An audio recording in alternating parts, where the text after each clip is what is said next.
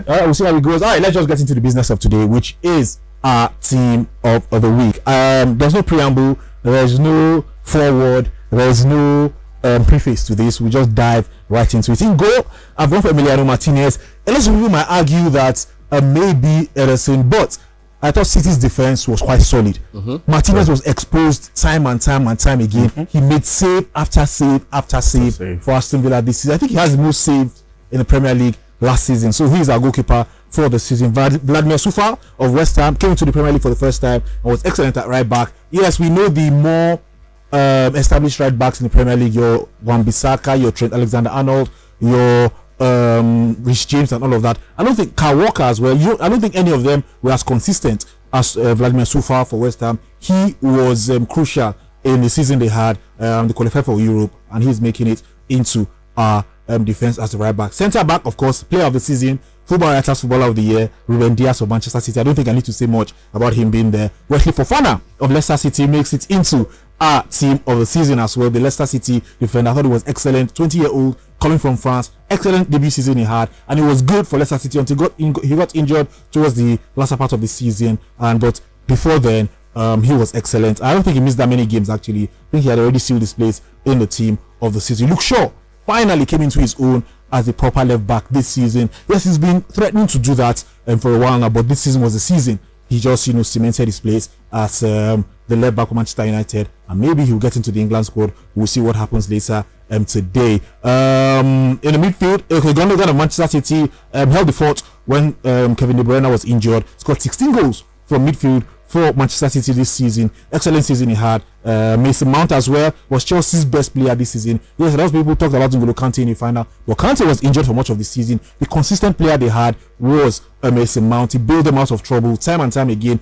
Goals, assists, and all of that, both in the league and the Champions League. In the final um, on Saturday was his pass that led to the goal for um, Kai Havertz. So he's making it into our team of the Bruno Fernandes. What more can you say about him? Man, Manchester United's best player. He doesn't play well. United don't play. That's that simple. Uh, whenever he's struggling, United are struggling as well. So he makes it into our team of the season. The three going forward, Son Heung-min of Tottenham Hotspur um, scored 17 goals this season. Mohamed Salah of Liverpool scored 22 goals this season. Harry Kane of Tottenham Hotspur top scorer with 23 goals this season. Coach of the season, David Moyes, for doing what he did with um, West Ham United. Clown of the season was hard to make a clown of the season, but for Brendan Rodgers for always, always bottling it at the wrong time. I don't understand how he always does that, but he does that every season, and he is our clown of the season. Just a quick recap before I bring these guys in.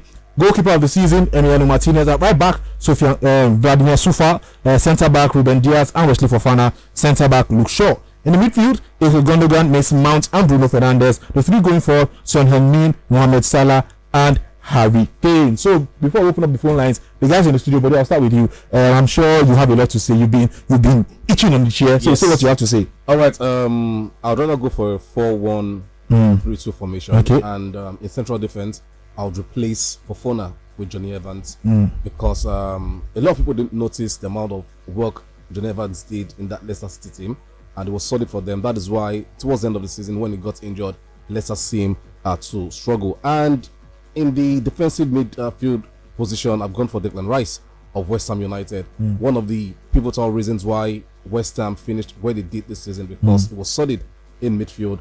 And um, yeah, the, my midfield three: Gundogan, uh, Fernandes, and Mount, and the two going for Salah and Kane. So, uh, but for the clown of the season, mm. I think I'd rather go for Mikel Arteta.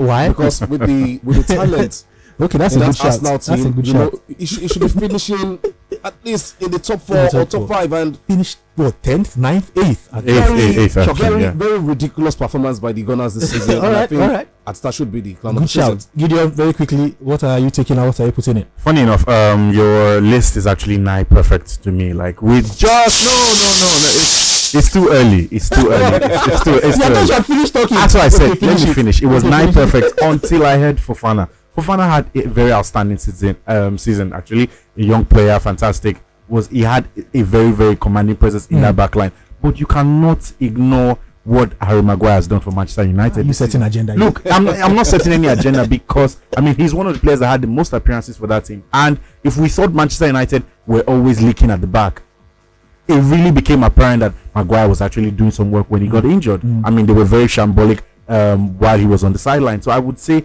a Maguire deserves, even if you're not going to put him in the starting lineup, at least he deserves to be on the bench for what he has done for Manchester United, giving it some sort of, you know what, some sort of decency, some sort of stability. Yes, it might not be as um, as compact as Manchester City's defense but, or backline, but at least his presence cannot be ignored. So right, I, I, right. I would say Maguire should be on that list. All right, all right. I disagree, but all right. Um, so this is our team of the season. Bode has told you who, who, he will have there. He will have um, Jonny Evans instead of Wesley Fofana, and he will also have Declan Rice in this team as well. And he will take out who Mohamed Salah.